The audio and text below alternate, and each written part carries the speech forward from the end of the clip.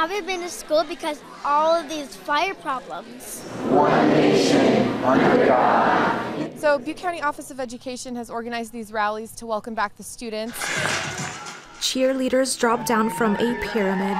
There's a lot of anxiety, I think, over coming back to school. Um, most of our families were not directly impacted in terms of their homes, but a lot of people have others living with them. Some fire, some homes got burned down, and and they had to come out of their homes. We're uh, blessed and honored to be part of your community.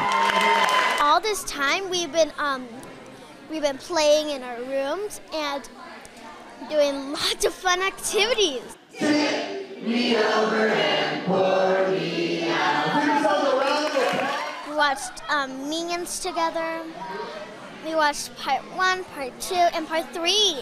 Which one's your favorite? Part three, Why? where Gru um, gets um, bubblegummed by. That's my favorite part of the movie. Is it? This today was an opportunity for everybody to come together, give hugs. We're happy to see you. We can't wait for you to come back on Monday. And as much for the kids and the parents, I think the teachers needed this. This school is so awesome. We get to learn so much. And my class has Play-Doh. Really? Sometimes we do Play-Doh, and now we don't anymore.